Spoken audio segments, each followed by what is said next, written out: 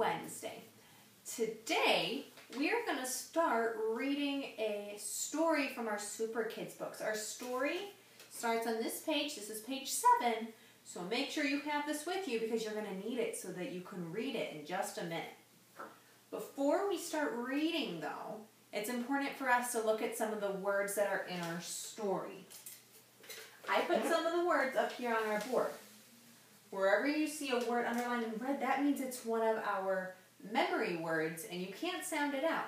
You just need to remember what it looks like and what it sounds like. So let's get started. This first word is a new memory word for us today. Let's spell it out together. L I K E. That spells like. Can you say that with me? Like. Let's spell it one more time and say it one more time. L I K E like. Let's look at some of our other words. Here's another memory word of. Ooh, now this is a word that I can sound out. Let's try it. P, I, k, pick. Remember when you see that CK together it makes a k sound. Let's do it one more time. P, I, k, pick. S, I, k, sick. Now this is a long one, but I know you can do it. Let's do it together. Contest, contest. G, grin, grin. Here's an old memory word. This one is N-O, and that spells no. And this is another longer one, but we can do it. Ready? Problem. Problem. Problem. Problem. Now let's do those all together again, just like how we usually do in class. Ready? Like, of, pick, pick, sick, sick, contest, contest, grin, no, problem, problem. Now I'm going to point all over the place. Follow along with me.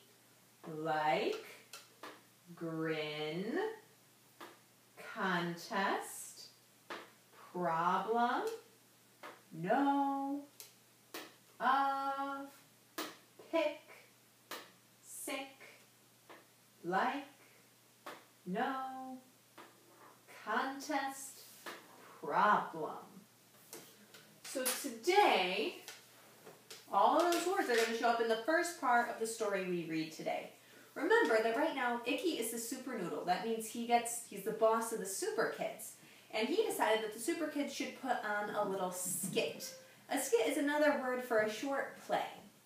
So remember, we in that audio you guys listened to yesterday, Betta decided she wanted to be the queen, and Sal was going to be the king, and Cass was going to be the princess.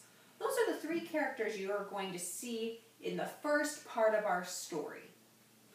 The play is actually divided into three parts. Those are called acts. Can you say that with me? Acts. Each act is part of the play. So today we are going to read Act 1, the first part of the play. When we look at our story, I see some pictures by the words.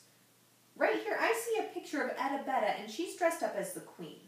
That tells me that Betta, the queen, is going to say these words here.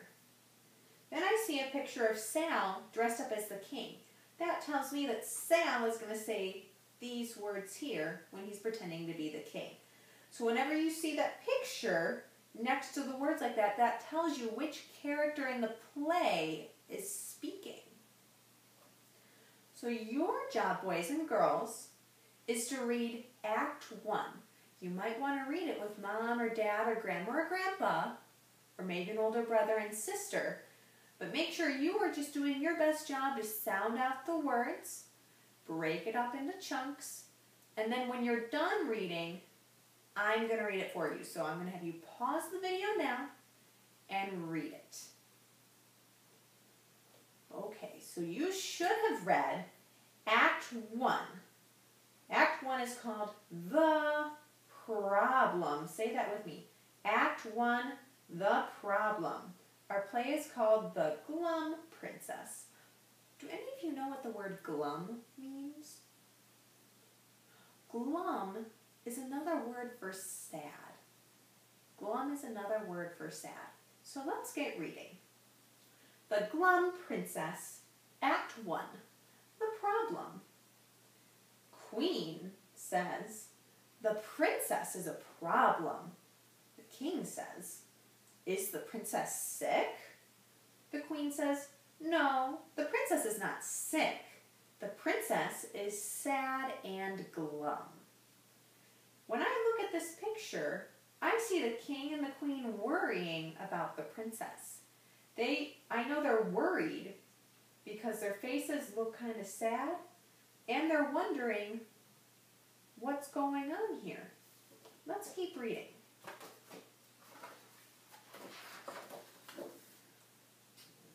The king asks, Will gifts help the princess? The queen says, No, the princess has lots of fun gifts. But the princess is still glum. The king says, Let's put on a pet contest. The princess can pick an animal for a pet. The queen says, The princess will grin at last. I look at this picture and I see the princess looks like she has a lot of toys. But when I look at Cass, who's dressed up as the princess, she looks sad or glum. I can tell because she's holding her hand in her face and she's looking kind of sad. She has a sad expression on her face. Icky says, but will the princess like a pet? Hey, there's one of our sight words, like. Let's practice that sight word together. Will the princess like a big pet? Will the princess like an odd pet? Will the princess like a fat pet? Those are all sorts of different kinds of pets, aren't they? So after reading, I have learned, that's the end of Act 1, I have learned that the princess is sad or glum, and the king and queen would like to have a pet contest so that the princess can pick a pet and maybe the pet will make the princess feel better. I want you to think, what kind of pet would you bring to a pet contest? Think in your head for just a minute. If I had to bring a pet to a pet contest, I think, hmm, I would bring a penguin, kind of like our friend Mr. Pebbles. I really like penguins. I think they're cute and I like how they waddle. And I think a penguin would be a fun pet to bring to a pet contest. What do you think? Today, I'm going to give you a little journal activity. So in your journals today, I want you to answer a question for me. What pet would you bring for the pet contest? Think in your head. This can be a real pet, or if you're feeling creative, you can make up your own pet. I want you to tell me one sentence that says what pet you would bring. Then I want you to write one or two sentences telling me why you would bring that pet. And don't forget, up at the top, make sure you draw a picture of the pet so that I can see what that pet would look like. All right. Thank you, boys and girls, for listening. I hope you have a great and happy Wednesday.